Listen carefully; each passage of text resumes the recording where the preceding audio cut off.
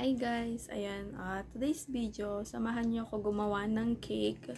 Uh, yung cake na yun is order siya ng customer. Bali, dalawang bento cake siya. Um, simple lang naman yung binigay ni customer na uh, design. And then, ang bilis niya kausap. As in, bayad agad ganun. So, ayan, wala nang patumpik-tumpik pa. Let's start.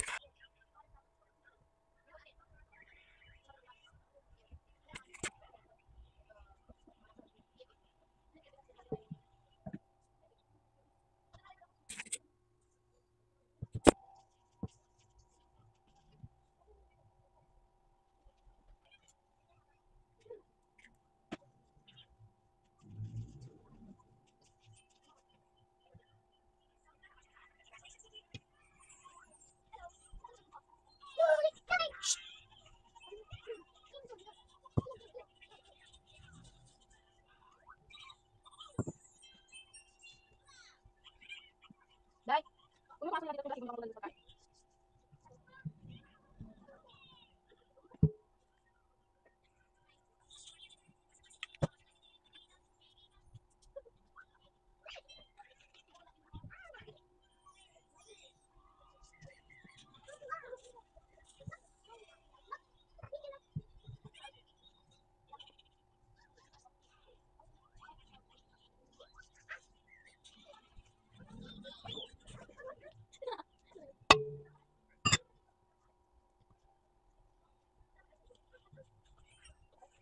Thank né? you.